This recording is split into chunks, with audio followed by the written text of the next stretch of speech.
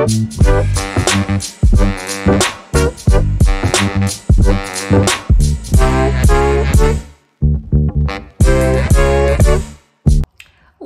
up, kittens? Hello, hello to all of you. Today is day two because it's September 2nd of 30 that I am doing my best to come on here and talk about what Operation Unbothered is and how I have continued to implement different strategies, um, different content that I have been coming across, um, really focusing on A Course in Miracles to really describe this uh, quantum leap that I've done and how I'm maintaining all these different aspects of my life.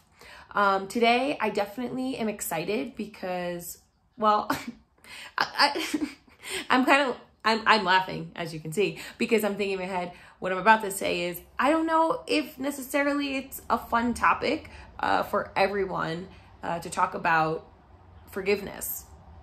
And something that I have really, really been working on the past three years is forgiveness of myself, forgiveness of others, and forgiveness of society um, while here in this dimension. And um, I'll be looking off to the side a little bit because I set up my notes on my laptop. Like I said yesterday, I'm not really sure how I want to progress. This is all new. This is super fun. I'm in this uh, creative moment in time of just seeing how this goes and seeing what I like to do and what I don't like to do. And yesterday was a little hectic with a notebook, a book, the computer. So today I was like, let me just see, put everything on the computer and see how this goes.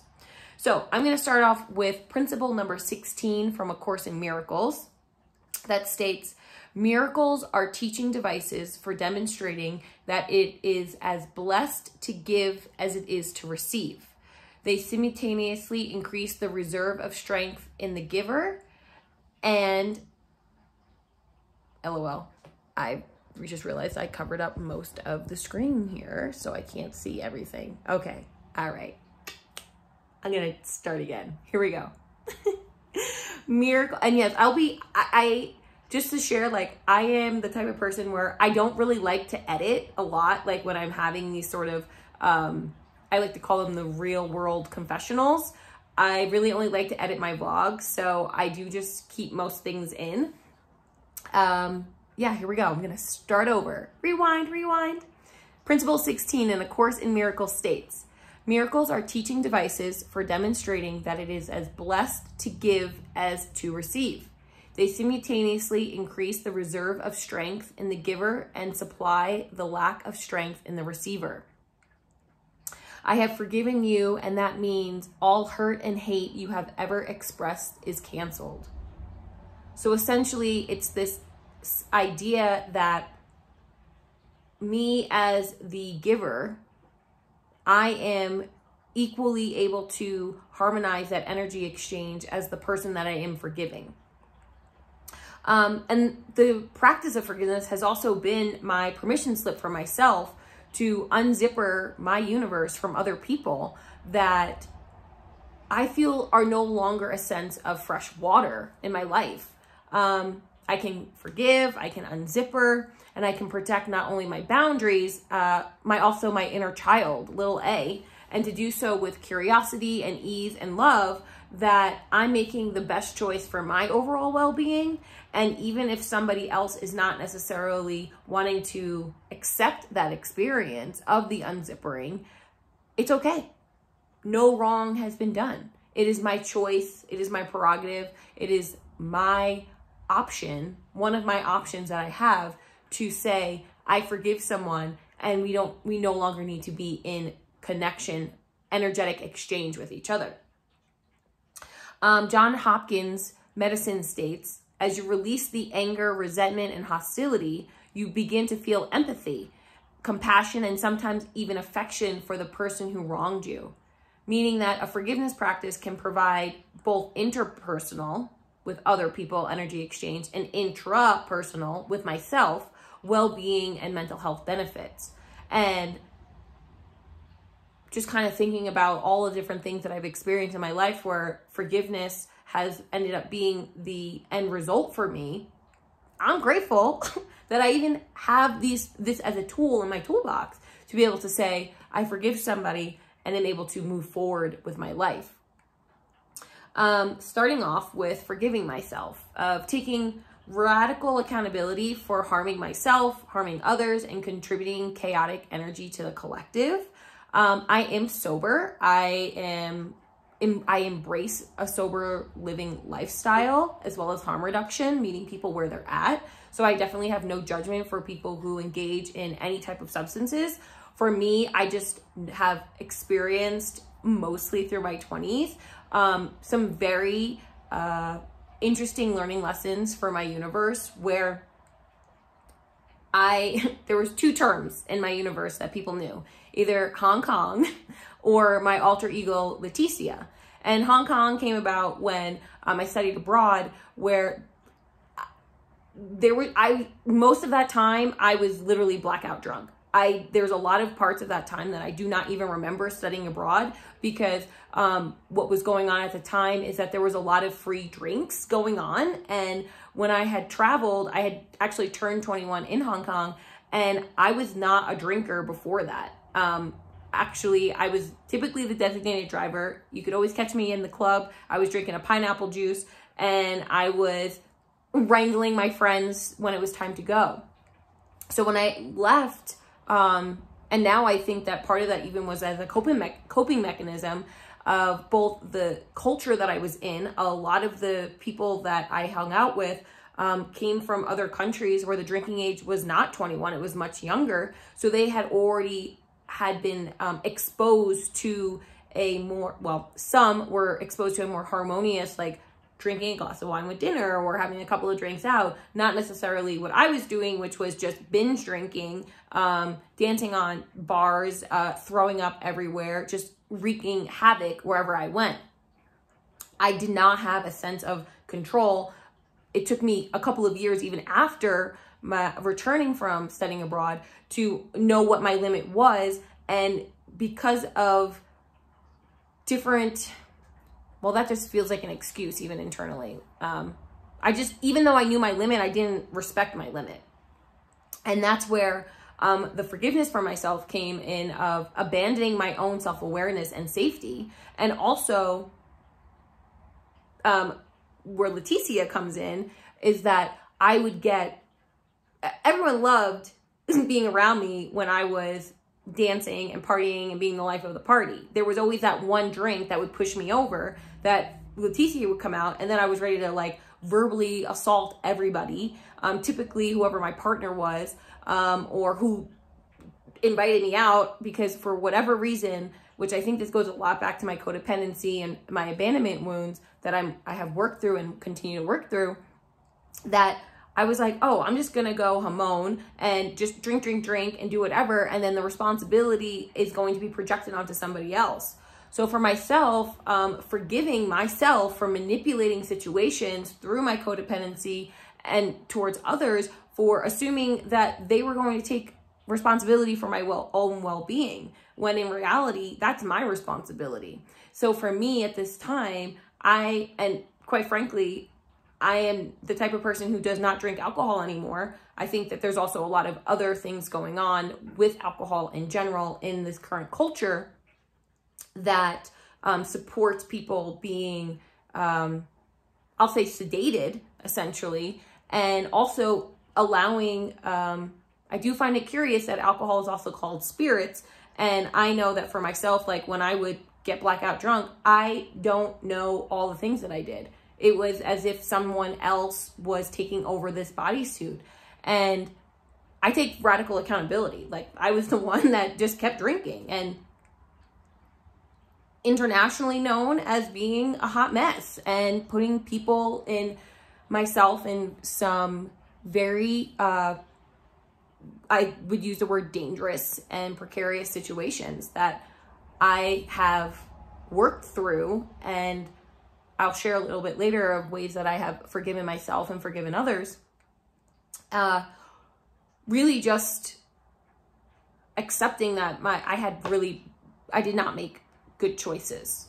And who I am now, I'm thankful and grateful that I was so divinely protected during those times in my life that I was able to now be able to be here at this moment and say like, this was my experience. And I've been able to compost that into, I think, being a very strong peer supporter because of my lived experiences and also really embracing the harm reduction lifestyle and uh, framework of how I approach not only my myself and the things that I engage with, also other people who may or may not choose to have alcohol or other substances in their life.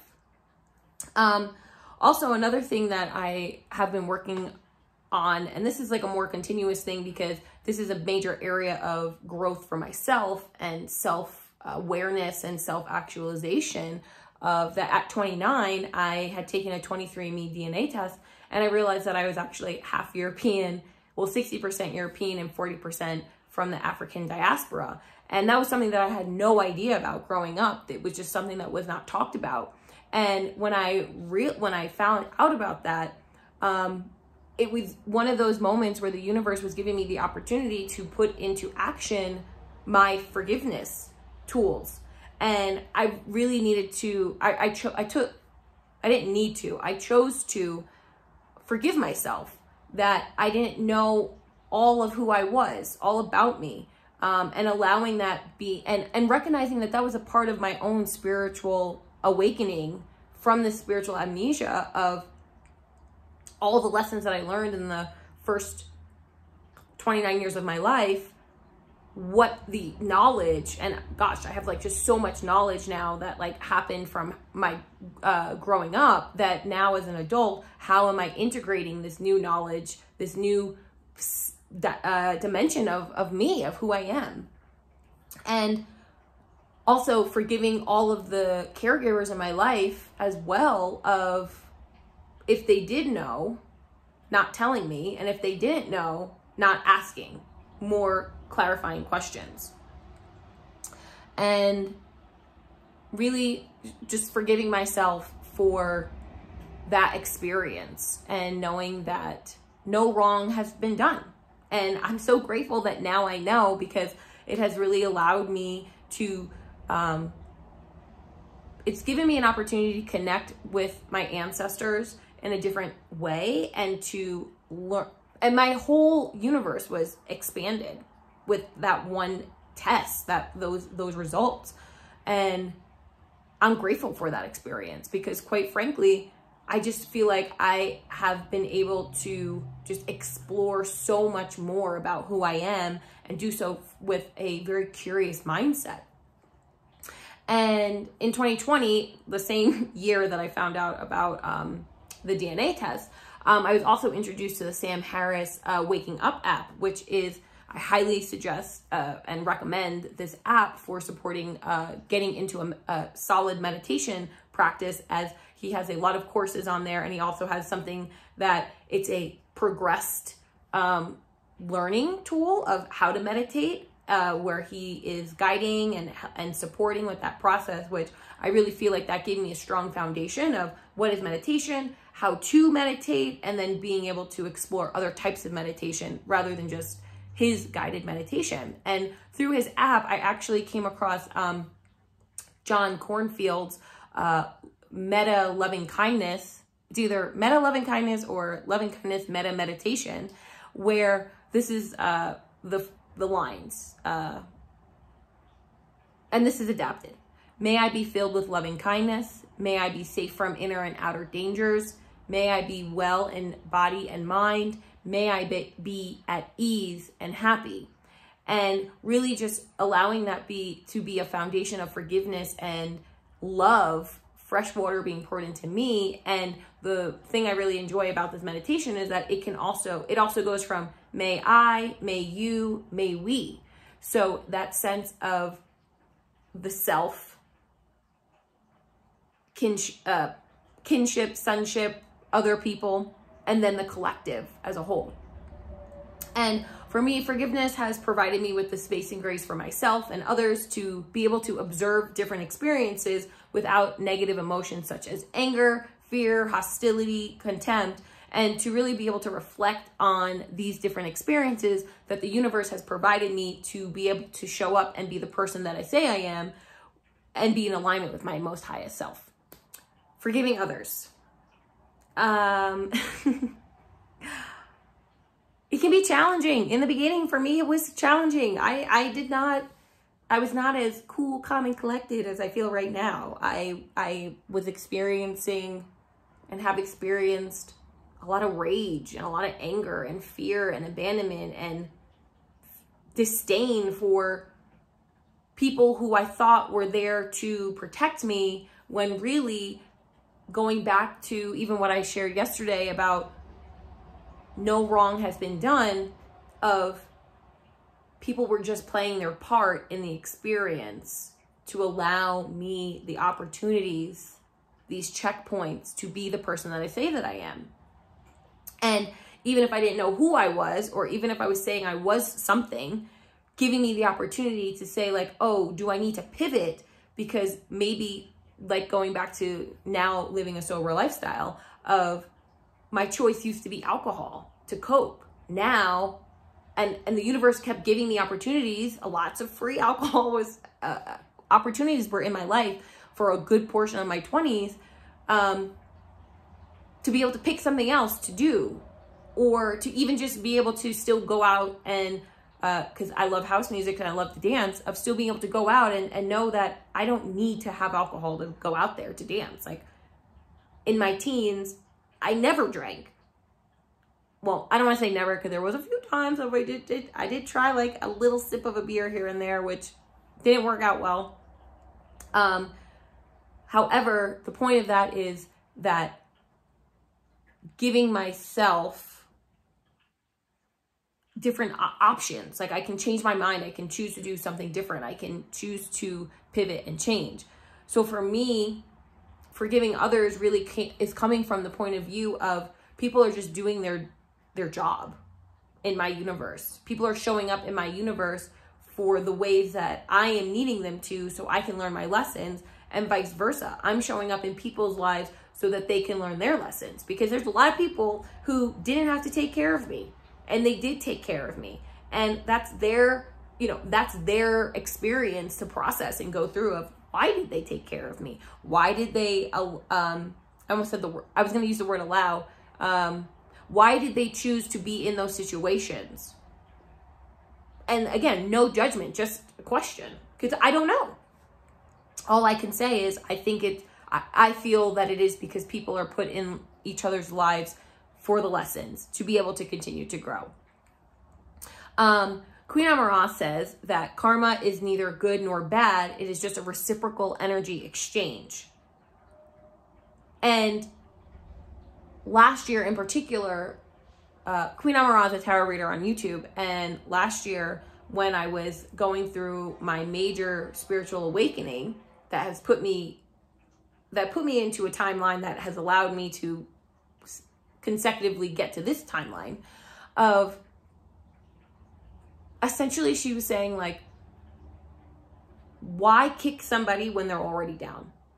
If, if someone's already experiencing a tower moment if somebody's already experiencing extreme emotional distress um, or the, the uh, me as the observer is seeing something that is like not making the math isn't mathing there it's not making much sense who do I think I am to send negative energy towards that person when they are having this experience? And that really was a major pivotal point in my uh, in my own forgiveness journey of being like, yeah, why would I kick somebody when they're down? I know what it's like to be in situations where I'm feeling helpless or discouraged or just being like, what in the actual heck is going on? And to think that people would be sending intentionally sending me negative energy. And that also goes to the responsibility of other people of watching their thoughts of being able to not send negative energy. And if they are sending negative energy being able to cancel that and be able to reinstate positive energy. So for me having that um, that seed planted in my mind of how to treat people who are having these experiences and are sending me perhaps negative energy just really being like i can observe the secular and see what's going on and i choose loving kindness and blessing people and, and sending that energy to them And for me, I really do, I have seen the math equation play out where I have had the uh, options. I've had a lot of options where I could have been that person kicking other people down when they were down and, and being self-righteous and saying like you're deserving of this negative energy because of what what I have perceived that has been done to me without accept like because for me like if I'm if I'm saying that no wrong has been done then there is no space in my universe for that negative energy. All I want to do is bless people, is cover them with prayer, cover them with love, cover them with protection from whatever they're experiencing. Um, yeah, and for me, I just peeking at my notes, I wrote being kind is free and doesn't clog up my own energetic field with resentment, retaliation, or hostility. And I have to live inside this bodysuit. I am connected to this mindset. I am connected to me and my higher power. And I'm trying to do what I choose to do and be the person that does whatever I need to do to maintain in divine alignment and not leading with a love focused, love first mindset is in direct contradiction to the person that I say that I am. So therefore, if I say that I'm the type of person who le- leads with a love first mentality, then I am going to choose love, and that is not kicking somebody when they're down. Um, A Course in Miracles says, letting go of our false perception that another sinned against us and deserves our anger and thereby releasing that person from the guilt we had laid upon her. Forgiveness is then the recognition that there is nothing to forgive. No wrong has been done. All of this is um, a tango, a dance where the energy exchange is moving because the end of the day, in my universe, I believe that all souls, all bodysuits here are fragments of source. So really, if I start being in a negative, non-love first uh, mindset towards others, I'm really only hurting myself because if I am you and you are me, and if I am projecting it onto you, then that is going to be projected projected back onto me. And I don't want that. I'm over here I want to be living a peaceful life. I want to be living an abundant life. I want to be living a blessed life, which I live all of those things. And that's where I was saying, like, the math has worked out where I know that I have blessed and poured fresh water onto people who, perhaps in the secular mindset, could have riled up resentment, retaliation, or hostile or, or, hostile feelings inside of me. And I just said, no, I'm not going to do that. I'm going to continue to bless these people because at the end of the day, I would want that to be done to me. I would want people to send me loving kindness. I would want people to send me the ease and flow and love and light to make it through whatever it is that I'm experiencing. Um, my current forgiveness practice, uh, in addition to the loving kindness, which I'll be honest, I don't do that one as much because I've really been diving more into this, these two things. Um, the first thing is cord cutting. And then the second thing, which I hope I'm going to say, not butcher this too much, so I'm going to take my time, the O Oponopono meditation and prayer. And this popped up, this kept popping up in my universe. And then I finally, within, I guess, like the last couple of weeks, really was like, okay, I want to integrate this into my daily morning routine. So, how can I do this?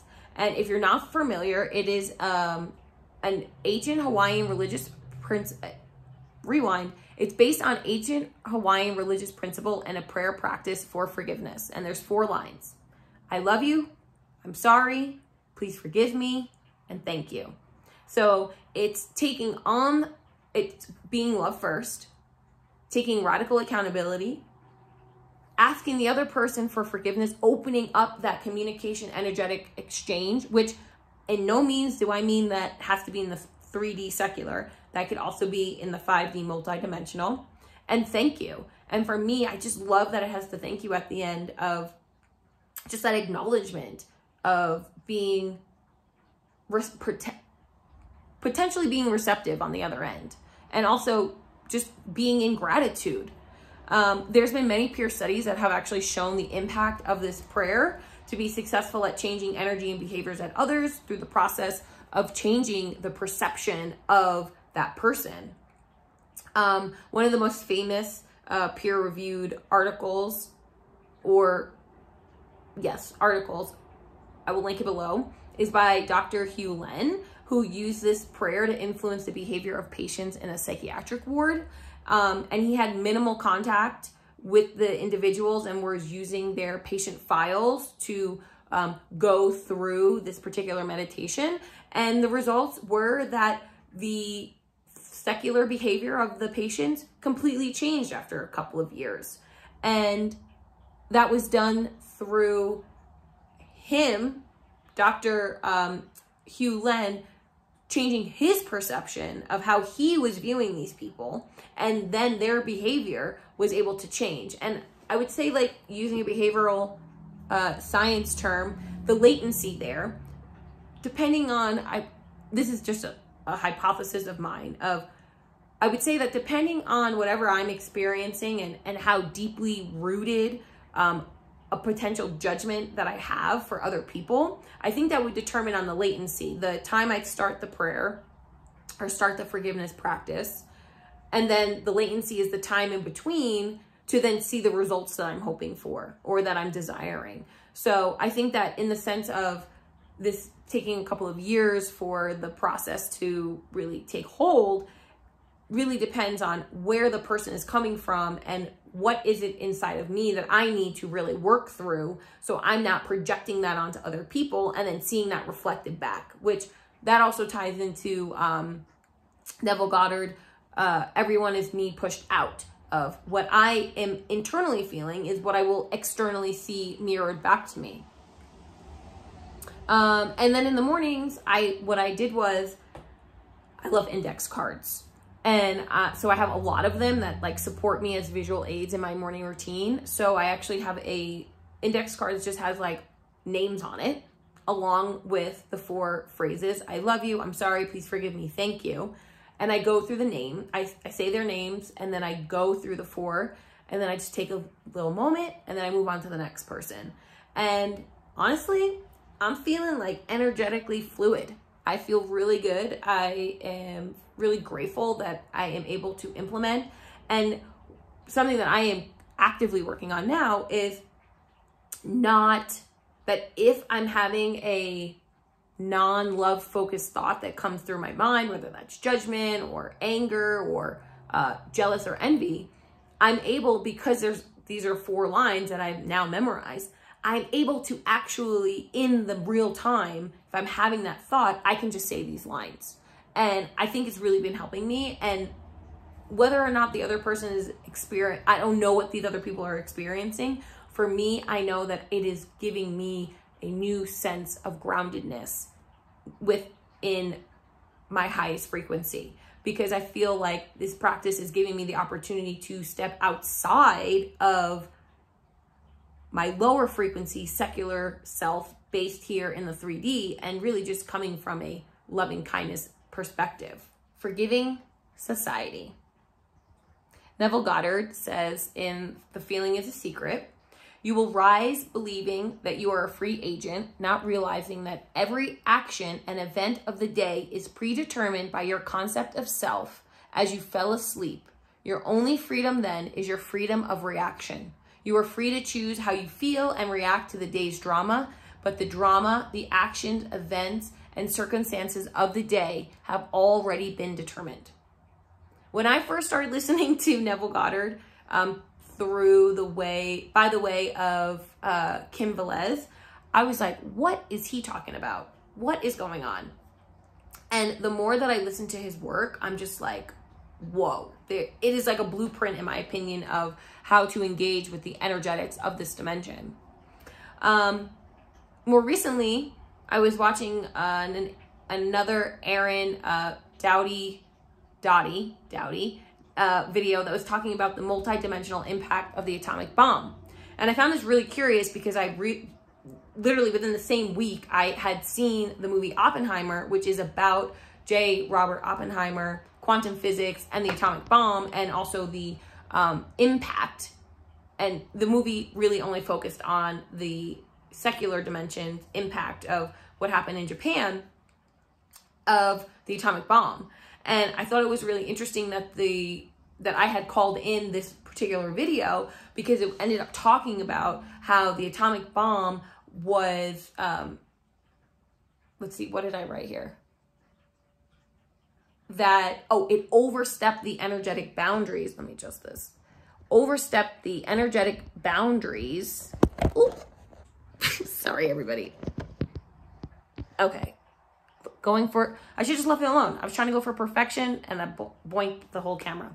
Um, it essentially overstepped its energetic boundary by not just impacting Mother Earth, rather it impacted the entire multidimensional uh, system of space and other universes. And Aaron talks about in the in his video that that moment in time ended up being a call for help for Mother Earth for souls from other universes to actually come here to be light workers, to be miracle workers, to come here and restore the extreme imbalance that was created. And yes, I did actually use the uh, Ho'oponopono meditation for Oppenheimer and the people that um, were a part of that in Los Alamos because I, I do feel, and I'm going to share, I'm going to go into this in a moment, that that is an one one example of people in power utilizing the how do I want to say this? miscreating with the tools of this dimension and multidimensional tools to bring something that was very egocentric. Because at the end of the day, the atomic bomb, that whole movie talks about just essentially how Oppenheimer was not wanting to push science to be used as a as a weapon, rather using it as first just like being able to experiment with science and see what could come up and then it kind of snowballed into this much larger thing that ended up becoming the atomic bomb. And there's a lot of points in the movie where oppenheimer literally was like again this is a movie so hollywood it's like take what resonates leave the rest. However i was really feeling and then lo looking into a little bit more about um, him and his wife kitty afterwards that there was a lot of conf- inner conflict of creating this this bringing this math to the dim- this dimension and then seeing it be used to essentially murder many people. So the question always for me is, well, who's who? The radical accountability is that everybody has played a part, past, present, future of that moment in time. So now here I am in the future sense of that moment in time of what can I do to con- to kind of rebalance and recalibrate that experience? Um, yes, I realize I say um quite a bit. It's something that I'm working on. Just close my mouth and read my notes. um, yes, so Aaron talks about how the atomic bomb, the detonation of that, is a was a call for people to essentially be put into the game of the game, the life, game of life, um, and do our do the part to save it as best as possible. And in my opinion, the atomic bomb is an example of the promotion of moral flexibility for the instant gratification of the person, organization, groups in power, and in this case, the American government's ego to attempt to remain a superpower over all their countries at the expense of civilians, Mother Earth, and scientific morality. And another example, which I love sharing this uh, documentary, which is on YouTube, um, is The Century of Self, which is an Adam Curtis documentary coming out of uh, the BBC, where this promotion of moral flexibility is at the influence of capitalism and the consumer's mind. Uh, one of my favorite quotes during that time period is from Henry Ford, where he essentially says, like, you can have any color so any color Model T so long as it's black, which I think is a ominous, uh, oh gosh, I can't think of the word, it starts with a P. I'll say premonition. I don't think that's what I'm looking for. An ominous premonition of this sense of where corporations are dictating based off of their point of view, their supply chain, their preferences of programming the consumer's mind of what is available. And one thing that's really interesting about that documentary is that Edward Bernays, who is Sigmund Freud's nephew, utilized the psychoanalytics that Freud affirmation alarm. I am a fiscally responsible, fully resourced adult that is responsible for my action, reactions, and feelings, which is interesting since I'm talking about forgiveness here. I'll get back to it. I'm just adding these extra details that I wrote. Um, I was talking about Edward Bernays and how he used Freud's psychoanalytics to essentially influence and create what we now know today as public marketing um, to change the consumerism, change the mind of the consumer to want to buy, buy, buy in order to maintain this secular dimension sense of ego worth. And I'll, it is what it is. You know, this is, it, it's another example of when things that are created or come into fruition in this dimension cannot necessarily put it back. What uh, what is it? Uh, you can't put the toothpaste back in the in the toothpaste container, and I think that's this is a major example of that um, between the atomic bomb and and even uh, modern day consumerism of using these these skills, science, and tools that create something that is just way bigger than people really could have even projected. Um, and being in my highest frequency now, um, has allowed me to be an observer of the secular dimension through reflection, participation, and integration. And I'll say it right now. Yes, I am manifesting a Range Rover Defender. I love those cars. I think they look like stormtroopers. Um, and that's one way that I love to play with dope cars, luxury cars.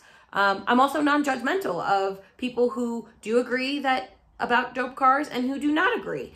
Because uh, there's again, even within that idea, there's a lot of content to really digest. The impact on the environment, the cost of it. Uh, there's houseless people. There's people who don't have any food. You know, there's all these things that can be unraveled that can either support or discredit that desire. Yet it doesn't change the fact that I am a person who likes cars.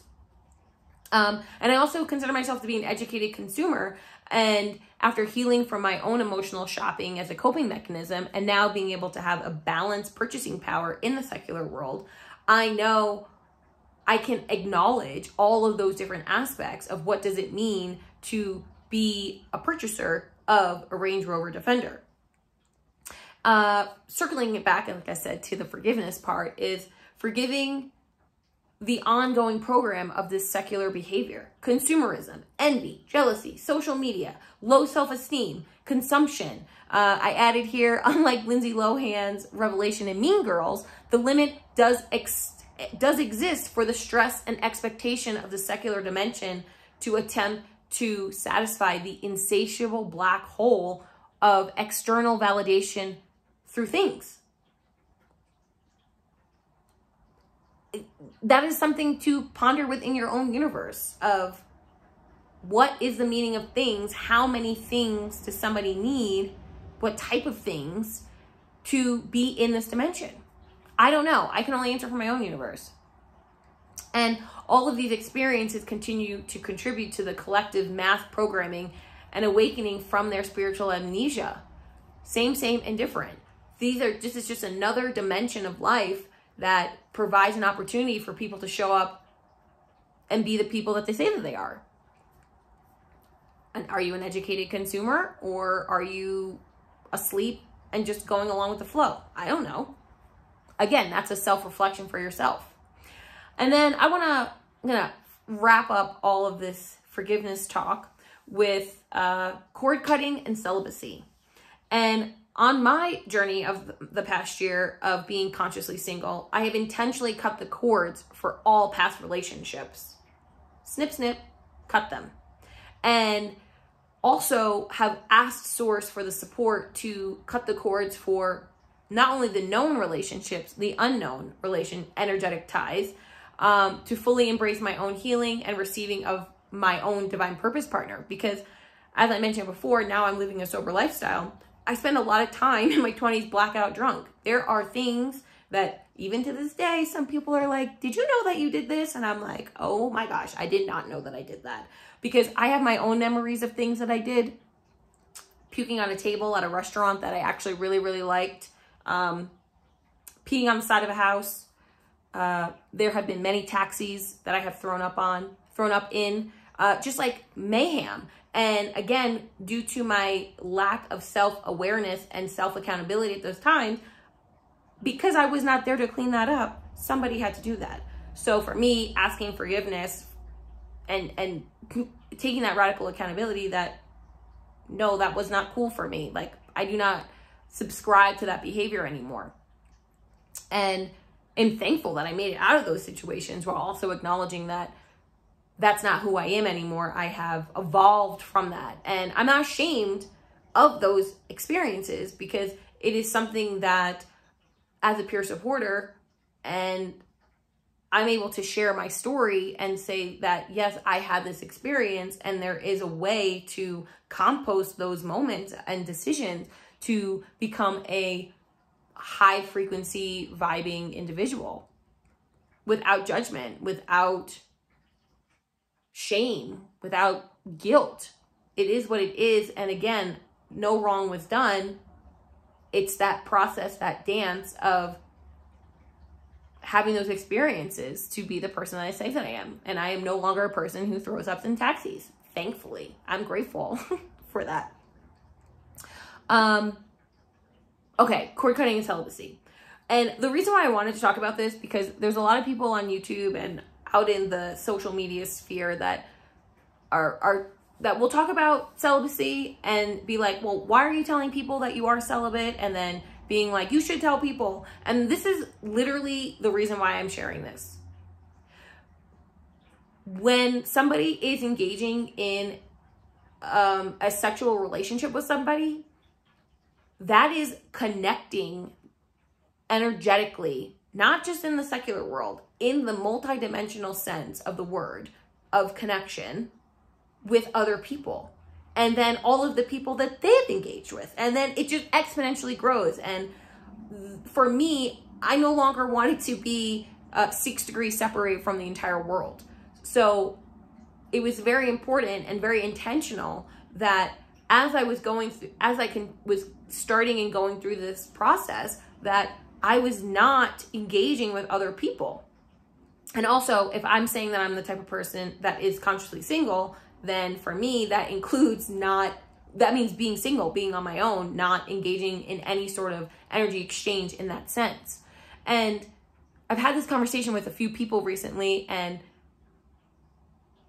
energetically, people are not aware that it is becomes a burden. It becomes a connecting glue. And for me, as I continue to quantum leap, where I was last week, where I was six months ago, where I was last year, where I was in my 20s, is not where I am today and not where I'm going to be next week and continuing on. I'm continuously quantum leaping and up leveling and expanding and changing and getting to know myself even more as I become more and more aligned with my divine purpose. And for me, people of my past, grateful to them for being a part of my experience, I no longer am zippered to their universe. So if I'm no longer zippered to their universe, I want to let them go in love and gratitude and joy and not have any residual energetic interference with where I'm going.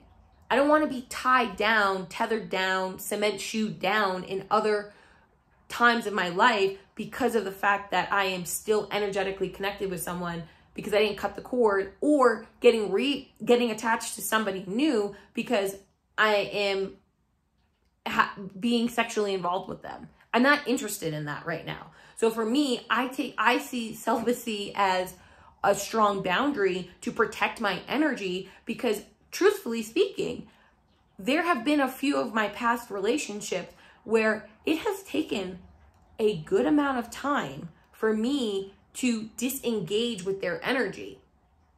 And honestly, it's tiring. I've, I've been tired. It's exhausting. It takes a lot of effort. And the thought of re engaging and opening that up with somebody who is not a divine partner, no, I'm not interested. No, thank you. And again, coming from the non judgment, I'm not judging anyone. If, if people want to, if people feel empowered to go and have multiple sexual partners, just know as an educated consumer that now that choice has now connected somebody with somebody else and that there will need to be work to be done to cut that cord. And depending on the trauma bond, the type of connection that is there, it's, it doesn't always just take one cord cutting ceremony to release people. It there have been people that I've had to do this continuously multiple times. I'm talking like 10, 12, 15 times to really solidify that their universe is not they cannot get into my universe anymore. So for me, the celibacy is a way to say, you do not have a key to come into this universe. The vetting process is still happening. And also, I'm not interested in having to do the legwork afterwards for that instant gratification.